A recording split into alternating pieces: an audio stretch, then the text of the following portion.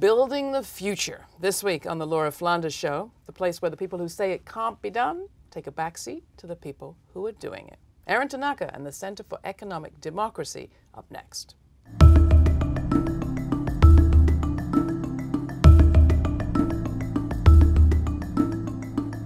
Donald Trump's cabinet is said to be the wealthiest in U.S. history, with a shared net worth in the region of $13 billion. That's greater than the world's 70 smallest countries combined. The power of the haves to decide our future, and even the world's, couldn't be more obvious, nor could the disparities more clear. Is this a situation that can hold?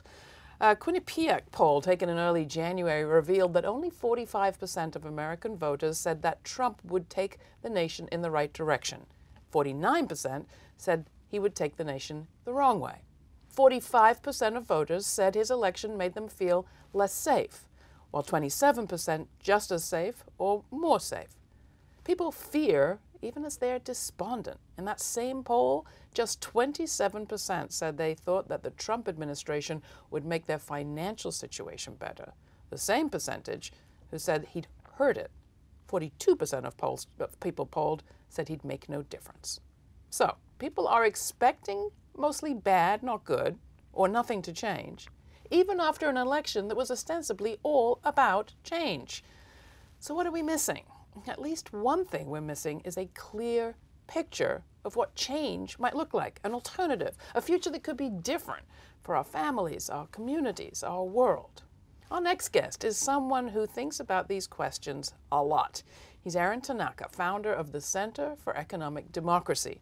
His current project, Ujima, set to launch in 2017, intends to build a democratic community development ecosystem and local economy in the Boston area with a mission to invest in local businesses, create jobs, and distribute wealth, especially, especially among communities of color. Aaron, welcome to the program. Glad to have you. Thank you, Laura. Very happy um, to be here. It's hard, isn't it, with so much on the horizon and so much coming down all around us to focus on the future. I found myself saying mm-hmm. this morning, it, it, it's hard to focus on the future with so much blood on this on this on the screen, you know, right. on the window. Right. Um, how are you doing it? How are you thinking about the times we're in?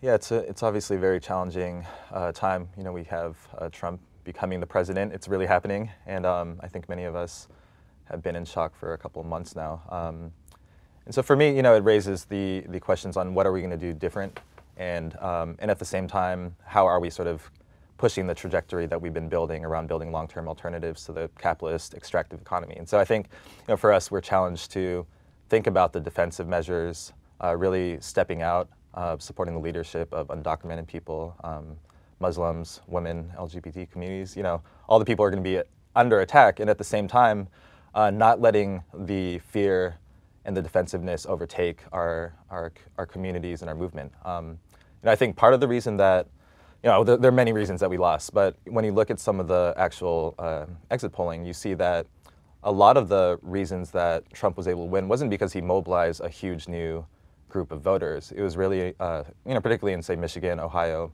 uh, Pennsylvania, we saw, um, you know, hundreds of thousands of voters who voted for Obama who just didn't come out for Hillary, right? right? And so the question for us is, you know, you you could have the trajectory or goal of sort of trying to speak to this sort of white um, middle class or populist or white working class sort of populist uh, community, which is, I think, important for us to be thinking about. But I think there's a danger in moving yeah. too far in that direction and forgetting the folks who were able to put yeah. President Obama in office in the first place. Yeah, and, people and, have pointed out over and over again on this show, mm-hmm. certainly since the election, mm-hmm. that the electoral college winner-take-all map that is all red right. mostly right. Um, is very misleading, yep. uh, especially when you think of all the people whose votes weren't counted. That's right. Um, and the popular vote, of course, that left Hillary Clinton um, with a clear majority. Right. I mean, one. and not to mention just the you know the 40% of people who didn't vote. Period. Exactly. Right. And we've always known about this, but our question is really how do we speak to those folks, the folks who are so disaffected, who don't feel like politics is is for them at all. And for us, we think um, a need for a bolder, more visionary strategy is what's going to really mobilize and activate, animate um, people who have been so far left out of the system. So let's talk a bit about your trajectory because I think it's reflective. Mm. Um, tell us a bit how you went from, I mean, the bits that I know of your story include growing up on the West Coast, going to Harvard, becoming an, an intern with a reading program in prison. Right.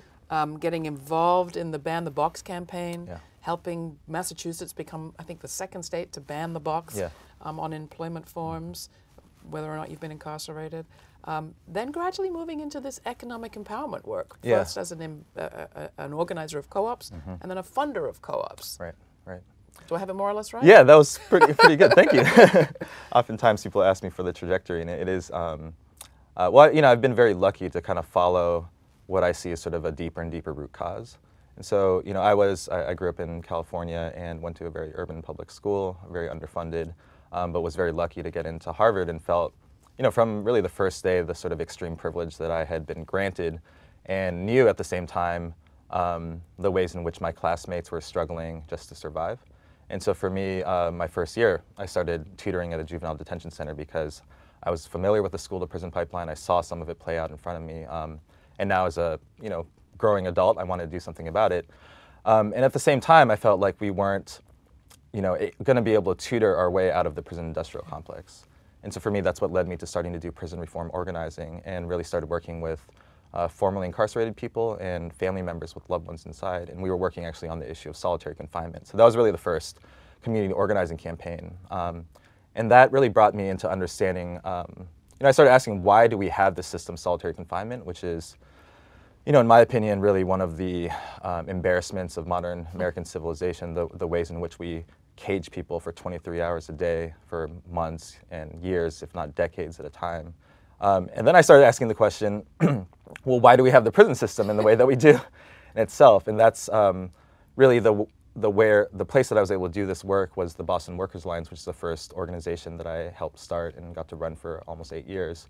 And there we started working around the issue of, uh, or working with people who were formerly incarcerated or who, who had criminal records but couldn't find work, uh, who are unemployed, chronically jobless, or underemployed, and started organizing people around that issue. And so, for me, if we really wanted to end the prison system, it began to be clear that we needed to deal with the economic Yeah. system underlying. And so that's We've had um, Peter Linebaugh on the show with the history of the beginnings of industrial capitalism Right. and the role that incarceration and the police, the police actually, played in shepherding people, really coercing people out of a more agrarian lifestyle Right. into the fairly isolated Yep. industrial one.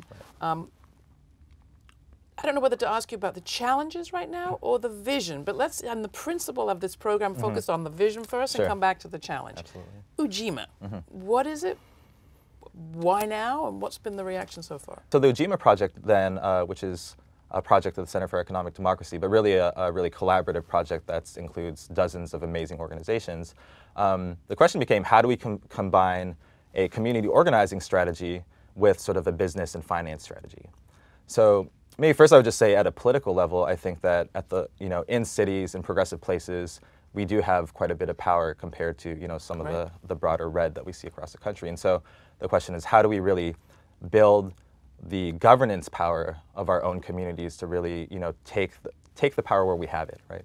And I think a key piece of that has been really aligning the private sector, the small business community, or even the, the co-ops that are in our, in our community with the grassroots community, political organizing, the labor sector, for example. And we've seen, unfortunately, that these two sectors, even though they're very aligned in their intentions, don't really talk much to each other. So we have Fight for 15 that's doing amazing work um, holding the big multinationals accountable. Around the minimum wage? Right, but we don't necessarily do much to support the small businesses in our own community who are struggling but want to pay $15 an hour, for example, right? Well, you're getting to a really important point, and we will hear about Ujima in just a Mm-hmm. Yep. second. But it speaks to where we are right now, also, Mm-hmm. because I don't know about the conversations that you've been in since the le- election of 2016. I've been in many where exactly that divide is crystal clear. Mm-hmm. A lot of community organizations and activist groups talking about fight back, sanctuary, um, resistance, opposition, Mm-hmm. Right. and very little conversation with well how do we actually meet the needs Yep. that are coming up needs to employ one another feed one another have housing we can rely on in these delicate times Yep. now i'm usually the person in the room that says wait a minute this gives us a chance to do all these things the way we want to do them anyway Mm-hmm. respond to immediate needs in the way we want to do them in the future Right, do them right, differently right. create the institutions that we want in our in our world going forward Mm-hmm. but i'm usually the lone voice, and it's hard to make that stick. Right, right. Well, I think part of it is, you know, getting people to see the ways in which their interests are tangibly and truly aligned. And so there's sort of this, there has been a way in which the right wing has been able to co opt sort of the private sector that if you're pro business, then you're conservative, right? Um, but we know that the ways in which uh, right wing and really, you know, Democratic policies or Democrat Party policies also play out um, is not in favor of small businesses. That they're giving massive tax uh, tax breaks and subsidies to multinational corporations that are pushing uh, the race to the bottom of co- economy that hurts small businesses, right? And so, um, you know, our question is how do we actually, beyond sort of the um, the political alignment, which we need to do in the longer term, but helping people see the ways in which they can support each other.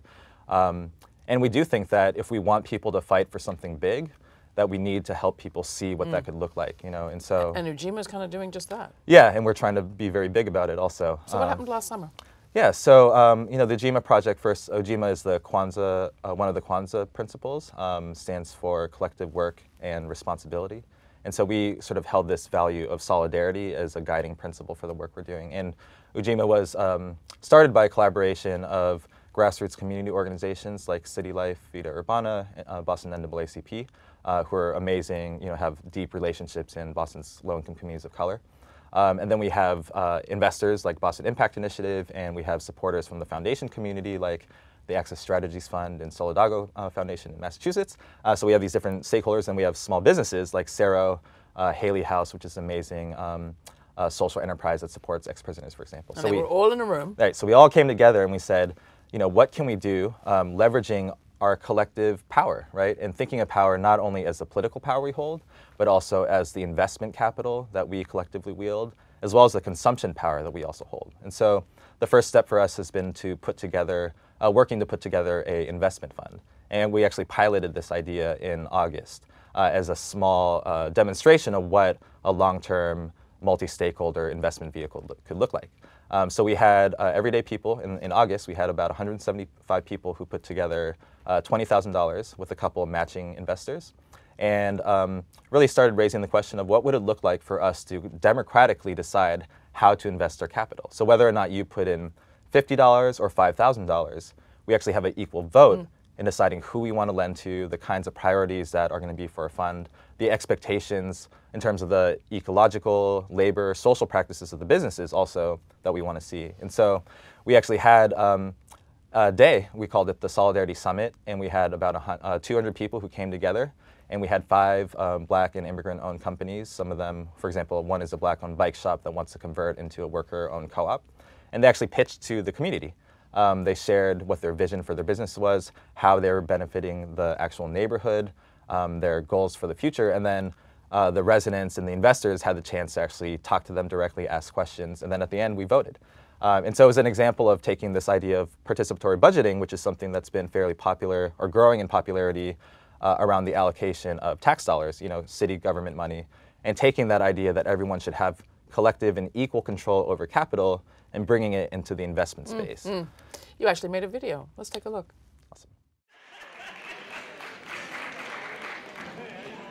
About 200 people from our communities, from Roxbury and Dorchester and Mattapan and Jamaica Plain, from Boston's communities of color, came together in this wild experiment. Who in this room is planning to make a loan to support a business today? Can you please raise your hand?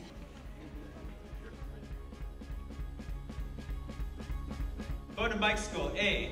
B. Fidalgo Wholesale. C. Fresh Food Generation. D. Norma's Catering. E. Sydney Design. Online, we are now 91% funded. We raised $10,000 in three days. 200 people from across the communities came together to decide what to do with that money. Five businesses from our communities pitched their ideas and talked about not just why they were good business investments, but also what they were doing already to support the, the growth and the well-being of our community. My dream is to have my own restaurant so people in the community can go and enjoy food and relax and have good time. We are a youth employer. We do whatever the people ask us to do. I see a vision that I'm able to expand and have seafood. Ujima is trying to create something new, a grand community dream and experiment that helps us answer the question, um, what would a people's economy look like if we designed it and created it and nurtured it um, ourselves? Like a lot of people, particularly black people from the inner city, I was not thrilled about the prospect of engaging with traditional banking and traditional lending, so I did not do it. Finding out about the efforts of community members like me to leverage pooled lending sources to take a bit of the fear and the anxiety and hesitance away from lending period and actually engage people of color with good ideas and get money into their pockets in a way that's palatable and that we could actually get with. Uh, I was so on board. Ujima is not only filling the gap where the conventional markets dollars wouldn't go, they're going way, way beyond it. To have a democratic economy means that the control and the direction of our dollars shifts from the 1% into the hands of the 99%. I don't live in some fortress on a hill. I live right here. If I'm not doing everything possible that I can to uplift and engage youth and formerly homeless people and incarcerated folks and marginalized people who are generally shut out of the economy, I feel like I'm not doing my job as a community organizer or an entrepreneur. When you're in the zone of, of what if, you know, imagining what's possible and then actually getting a chance to do something tangible to realize your goal, there's something about that that's, um, that's life-giving, it's inspiring.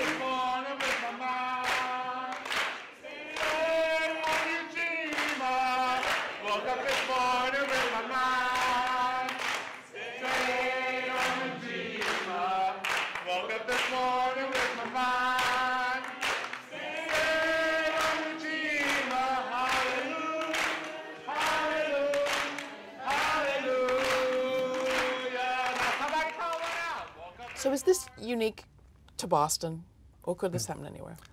I mean, we think that you know there's already many experiments in which people are pulling community capital and driving them um, to sort of build the future that they want. So we think that um, our contribution is this idea that no matter how much money you put in, everyone should have an equal vote, and that's um, that's really a theoretical and political commitment that certainly any other community can do.